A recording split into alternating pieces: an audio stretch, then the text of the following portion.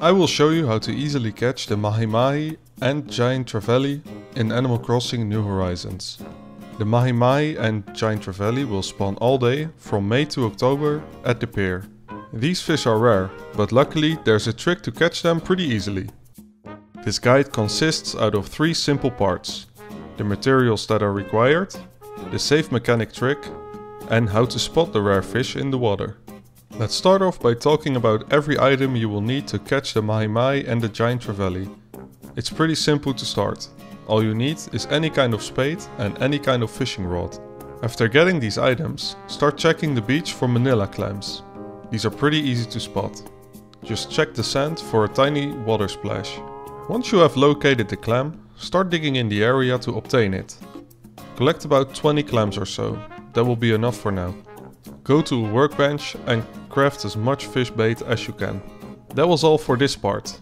Now let's look at the more interesting part of this guide, the safe mechanic trick. When you have the fishing bait and the fishing rod in your inventory, press the minus button on your switch.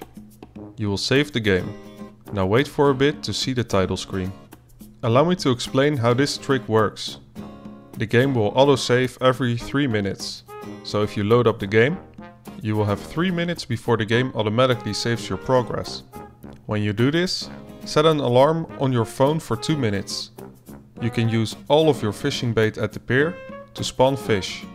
If you haven't got the fish you were looking for, press the home button and close the game by pressing the X button. Now load up the game again. You will notice the game has not saved and you will still have all of your fishing bait. You can now try again without gathering manila clams to make more fishing bait. I will now show you how to spot the rare fish. All the fishes in Animal Crossing have a shadow in the water. The size of the shadow will determine what type of fish is in that spot. The sizes range from 1 being the smallest to 6 being the largest.